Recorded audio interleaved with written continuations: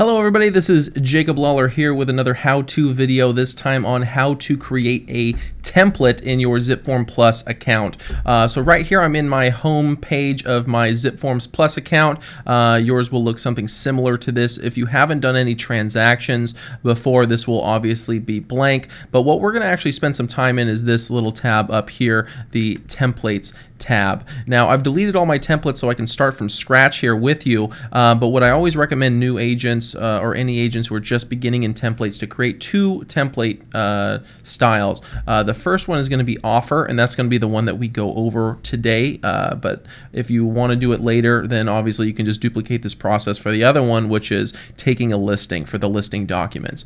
But for an offer we're going to be doing a purchase type.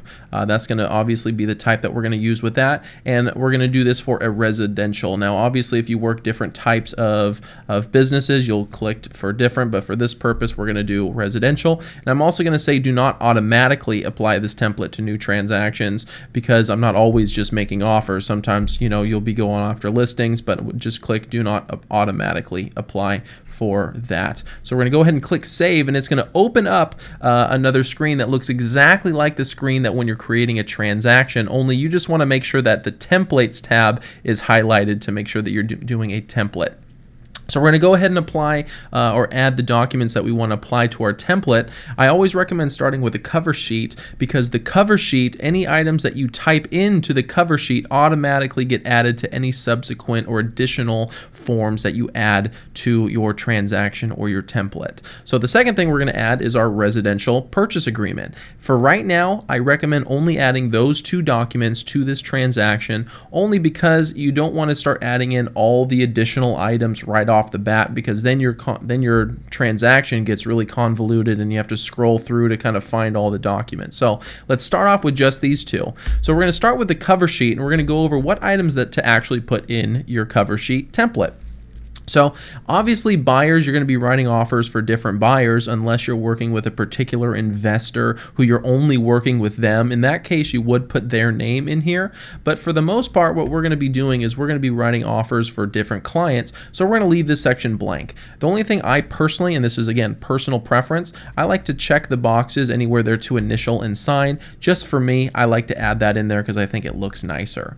Um, transaction uh, cover sheet as far as the property information. Now we're going to be having different properties. Hopefully we're writing offers on different properties, so we're not going to add in specific informations about an actual property there. Escrow, that's going to change, but what isn't going to change is you being the selling broker uh, because this is the buyer's agents section in here. So we're going to go ahead and add in our information and I am with First Team Real Estate 12501 Seal Beach Boulevard in Seal Beach, California. And I'm going to also add in Suite 100.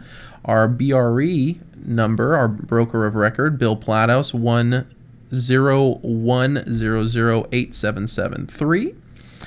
Seal Beach, California. I don't like adding in the route number in here, so I'm going to delete those last four. I'm going to put in our office information, 562 596 9911 my name, Jacob Lawlor, my BRE number 018-99247, putting in the number here 562, my phone number 760-2782, fax number, our office fax 562-596-4661, cell phone number 562-760-2782. Feel free to text me anytime. Haha. Jacob Lawlor at first team.com. Something to something to note here uh, in terms of the email address. Try to make your email address the same email address that is on the MLS, on the board of realtors, and try to have everything the same email address because it starts getting confusing when you look their number up on the roster and it's one number and then it's another email on the offer. So try to make everything the same that you have in here. Now on the cover sheet, that's really the only thing we're going to add on the cover sheet because the rest of the things and the items will change as time goes on on. Now before we leave this document, make sure to click Save, and then we're going to go ahead and click Back. Now we're going to open up the residential purchase agreement, which is actually a number of different forms that are attached. Now this first page obviously says the attached forms, so we're going to scroll down to the first form itself, which is the disclosure regarding real estate agency relationship. The only thing we're going to add on here, because it's already inputted your information here, because again we added it on the cover sheet, we're just going to go ahead and click the buyer boxes in here to sig signify the buyer here. Next thing we're going to do is we're going to scroll down to make sure all the information is correct. Perfect. Everything looks good. Now we're going to actually go to the RPA itself. Now, the date that you prepare the RPA is going to differ depending on when you're writing the offer.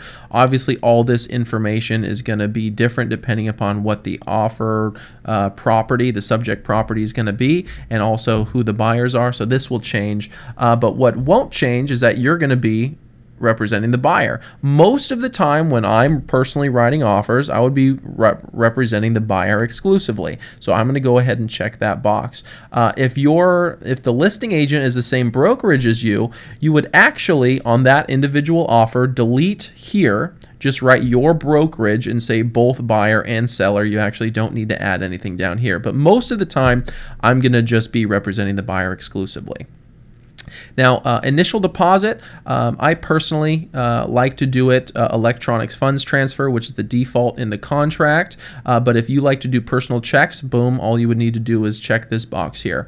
Now, we're going to get into individual check boxes, things to do.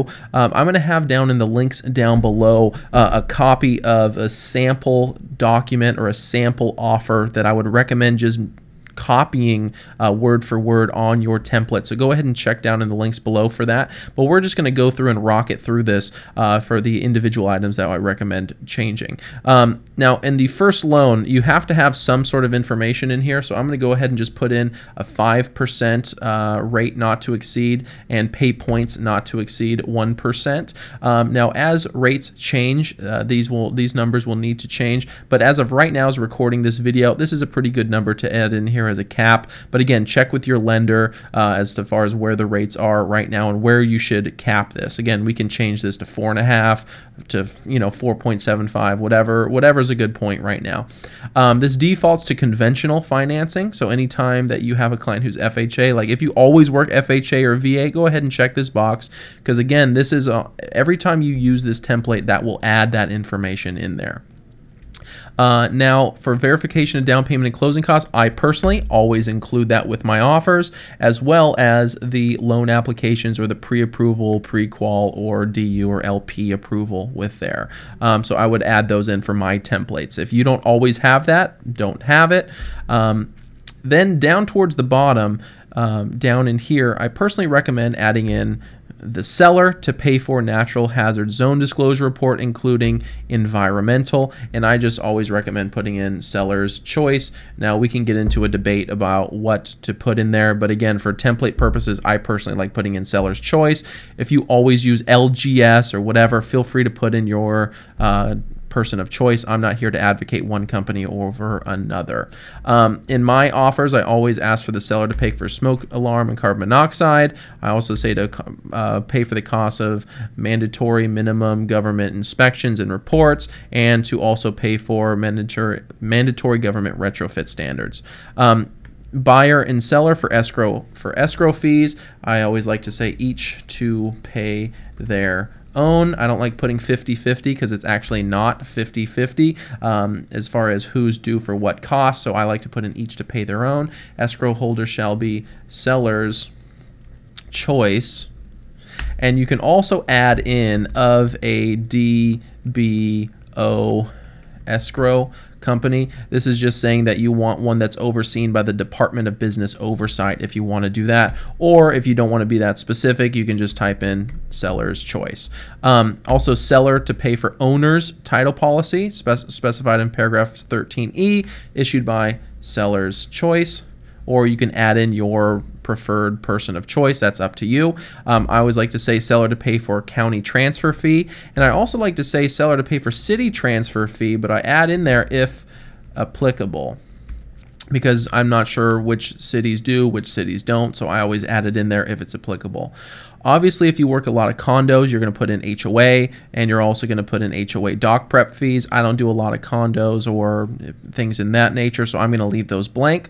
And I'm also going to say seller to pay for any private transfer fee if applicable in there. Okay. Also going to say seller to pay for cost not to exceed. I'm just going to say $500 for an upgraded policy. Uh, let's say that it has air conditioning. I'm not sure if it has a pool or spa. Most of the time they don't, but if they do, I'm going to add that in there. And I'm also going to say a comprehensive plus plan because that is the plan that uh, I always recommend for my clients. I'm going to say buyer's choice in here. Items included and excluded. Usually we ask for the stove. Usually we ask for the refrigerator. So I'm going to add that in there for me. If you don't like to do that, that's up to you. Again, coming down here, closing in possession. Most of the time that I'm writing offers, they are planning on living there. And most of the time they will have people in there. So I'm going to say no later than three calendar days after the close of escrow. So that's just something that I like to put in here. Um, and I, there's not a lot of things to change on the rest of them. Um, personally, and again, this is personal. If you've watched the video on paragraph 14 that I've done, that I'll also have down in the links down below, a link to that video, um, is I, I always like to make a buyer feel empowered by this paragraph in here. And what I'll do, because they feel so empowered by this paragraph, is I'll actually shorten these time periods uh, down to uh, three days for the seller to provide all of the reports and disclosures, and the buyer having 10 days after acceptance to, to do all their inspections and all of those items. If you don't like that, go ahead, delete them if you don't like that, then you can go ahead and skip that. Uh, but I like to usually have them in there. And then down at the bottom where they sign saying that this is our offer, always I always like to put in I like to put in my name as being an authorized person to receive the acceptance from that. And again, their names will be different, just you, we want to make sure on this 10th page of the RPA that your information is all filled out. That's really all the things that's going to be in there, but I can't tell you how much time this will save you. I'm going to go ahead and save this. So that way, when you go back and let's say we want to create a transaction and I want to write a new offer, I'm going to say test offer video and I want to do a purchase in for residential property, I'm going to apply my offer template. And automatically when I create this transaction it automatically inputs these two forms. So all I need to do is go in add the property info add my buyer info add the price and boom my offer is already done. So I hope that was helpful on how to speed up the offer process and how to create a template in ZipForm Plus. Uh, if you have any questions feel free to leave them in the comments down below. Also check the, the links down below for those links to the sample offer that I like to do as well as the paragraph 14 video that I've also done there. So I hope this was helpful. Uh, I'll see you on the next video.